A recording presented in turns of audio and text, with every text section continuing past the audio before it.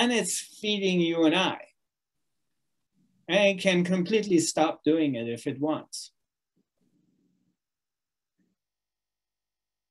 So that's one thing. But now we just go a little bit deeper.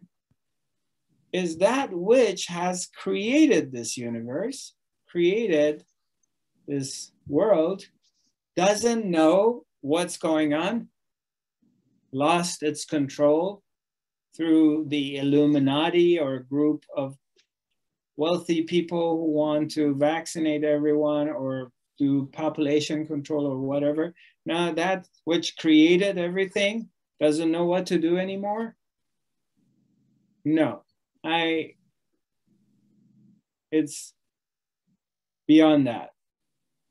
But maybe it's doing it through those of us that are wanting and being called to that greater intelligence to instigate change, to take care of the planet, to want to provide solutions yeah. that want to clean up. Yeah. Well, that's, yeah. that's what I'm saying is, I'm inspired to clean up, not to just be the superfluous enjoyment of drinks and goods and painting. I, you know, had this huge career as an artist.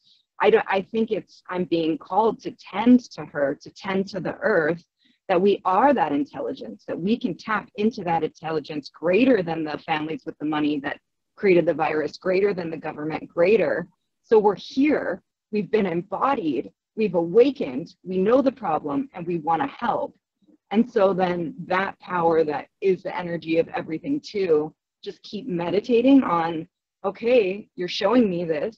How, where, where do my efforts go? And I guess that's what I'm asking because I have the energy and I just don't know where to plug it in. And then it's like, well, what right. do I go do? Work at a restaurant that I don't believe in anymore? You know what I mean? To yeah. money. Right. You know?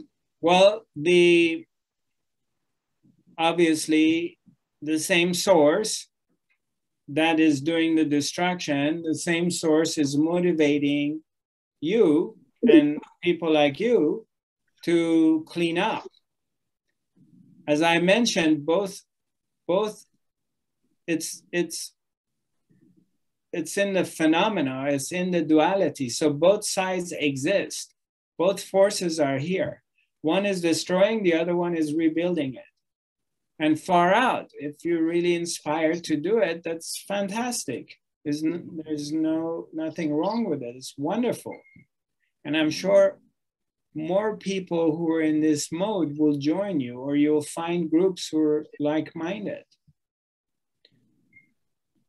However, let me let me just add one thing that I wanted to say earlier and I forgot to say it. Is when the mind goes crazy, my recommendation is as a tool to help you is come back to the watcher sink into this part of yourself that watches and observe observe your thoughts look at your thoughts you mentioned that you know should i turn on the volume or not so you have the ability to look at your thoughts. Uh, uh, are we on the same page? Yeah, I have the ability to not think, just to turn it off as well. Oh, that's far out. So you're you're very advanced. That's really great. So okay, so when you turn it off and there's no thoughts, can you go there right now? Can you come to this no thoughts place? Yes. Okay. All right. So when you're not thinking and you're in deep silence, is there a problem? No, ever. Okay. Or can you stay there a little bit? Well, yeah, it's like samadhi when I stay there. yeah. yeah, exactly. So then where does the problem go? Where is the problem?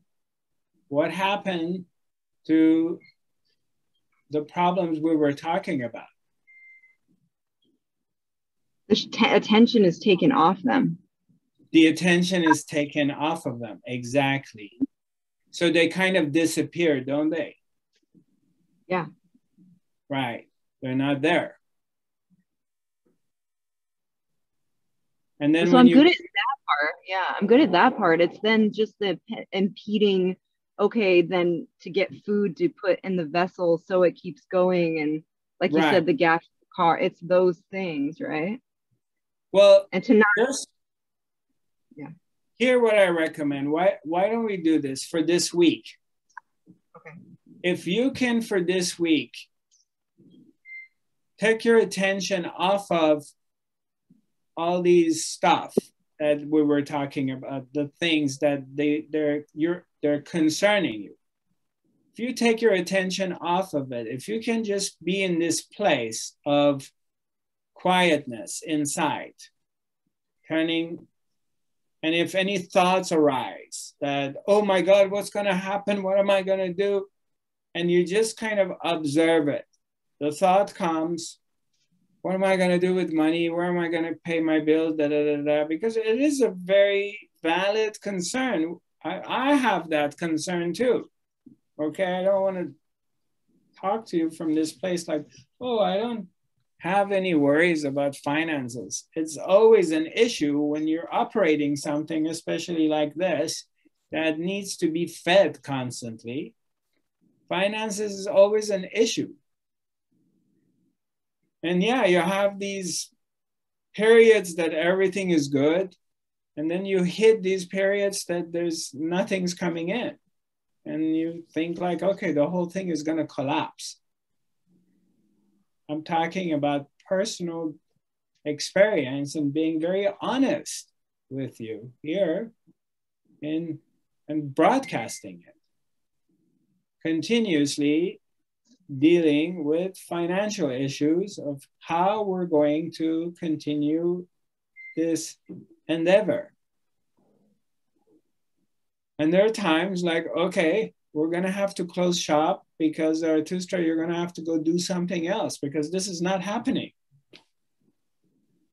And then it's for me, it's always like I have to pull back and just say, okay, all right, so what else can I do? What can I do to make a living? Or just kind of relax into not knowing, pulling back. Just, all right, do do whatever you want to do with me. You've been doing whatever you wanted to do. So take me wherever I'm going to go. Well, what do you want me to do now? Open up a coffee shop? Go do some trading, Bitcoins, uh, what do you want me to do? All right, this is not happening. All right, let's see.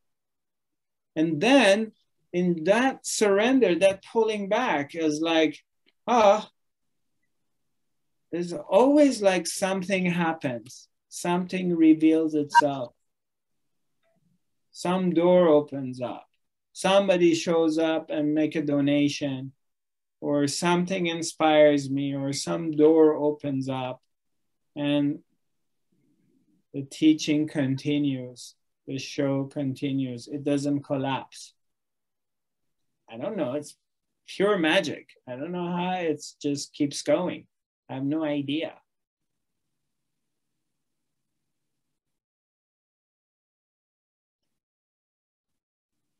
But something that I've recognized, realized, much, much bigger than my will is running this show. That thing knows what it's doing, and I trust in that. Awesome.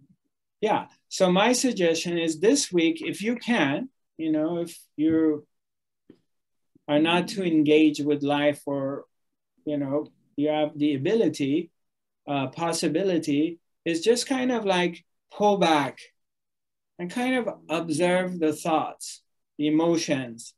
They're going to come and sometimes they're overwhelming, but just simply be aware of them. Look at them.